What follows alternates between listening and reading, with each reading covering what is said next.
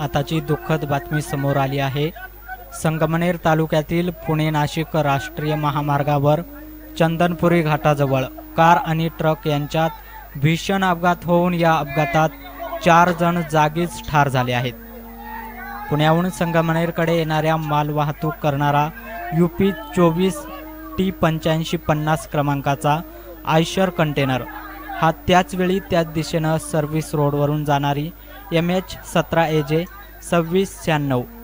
या स्विफ्ट कारवर पलटी होऊन हा भीषण अपघात झालाय.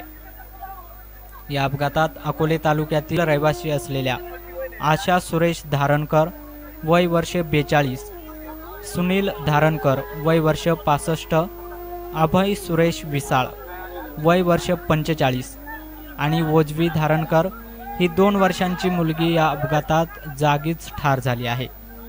तर अस्मिता अभय विसाळ या गंभीररित्या जखमी झाल्या आहेत. या घटनेची माहिती मिळताच संगमनेर उपविभागीय पोलीस अधिकारी सोमनाथ वाघचौरे संगमनेर पोलीस निरीक्षक देविदास डुमणे डोळसणे महामार्गाचे अधिकारी सचिन सूर्यवंशी पोलीस कर्मचारी यांनी तातडीनं धाव घेत कारमधील दबलेल्या मृत व्यक्ती आणि जखमी व्यक्तींना बाहेर काढत संगमनेरच्या खाजगी रुग्णालयात दाखल केला आहे. हा अपघात एवढा भीषण होता की या अपघातात कारमधील मृतांचा अक्षरशः चेंदामेंदा झाल्याची माहिती मिळते.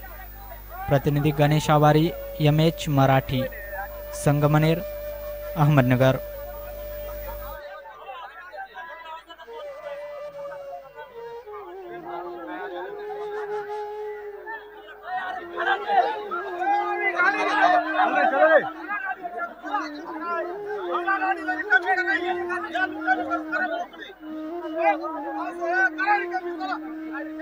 गाडी रिकामी करा